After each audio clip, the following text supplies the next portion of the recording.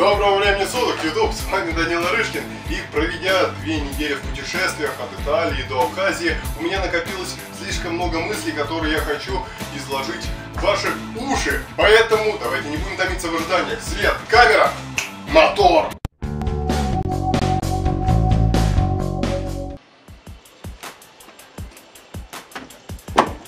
Последнее время, последнее время наша страна очень часто ругается на Запад.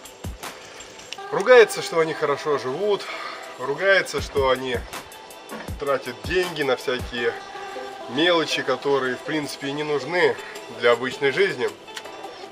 Ругается из-за санкций. Лишь бы поругаться. Но при этом я плачу 15 рублей на станции РЖД кабинке РЖД, выходя из поезда, который был послан компанией РЖД, я плачу 15 рублей за туалет, потому что в вагоне нету биотуалета.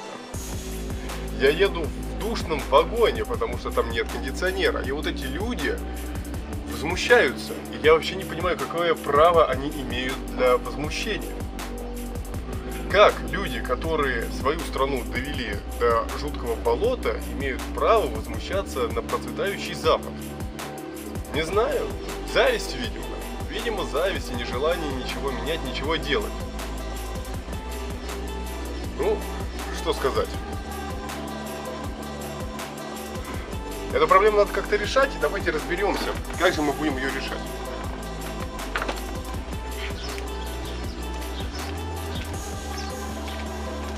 И знаете, как мы будем решать эту проблему? Здесь все очень просто. С учетом того, что население, которое смотрит э, YouTube и население, которое, в принципе, обитает э, в интернете, оно слишком молодое. И, видимо, до молодого поколения очень плохо доходят э, верные мысли. Потому что их никто не употребляет на просторах интернета. В интернете вы смотрите только на котов, на пьяных людей и на то, как э, блогеры срутся друг с другом. Но это вечная тема, и меня сейчас опять в нее понесет. Но сегодня не об этом. А сегодня затронем такую немного морал-факщину. То есть, э, как вы понимаете, что если вы не хотите жить в разрухе, то вам не нужно допускать этой разрухи. Прописные истины, но если о них не говорить, то их э, никто соблюдать не будет. Не выбрасывать бычки просто так на улицу, не выбрасывать пластик и убирать постоянно за собой. Если есть возможность возмущаться, если в вашем вагоне э, нету кондиционера, то возмущаться. Если вас обсчитывают, то возмущаться и стараться э, донести до людей, которые следят за этим, до людей, которые занимаются этим, то, что ситуация неприятна для вас, как потребителя. И пусть э, потребитель бывает и наглый, бывает и хамоватый. Ну, что поделать, надо менять вектор потребления, надо сделать из потребителя человека, который понимает, что в конечном итоге хочет видеть чистое и милое общество. Ну и вы, мои молодые зрители, которые, ну, естественно, молодые, хоть вас очень мало, то, естественно, задумайтесь об этом.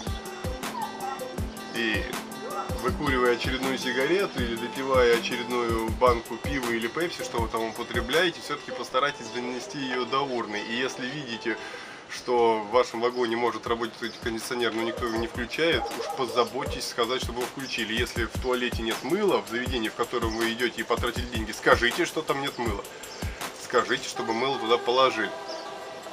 Это единственный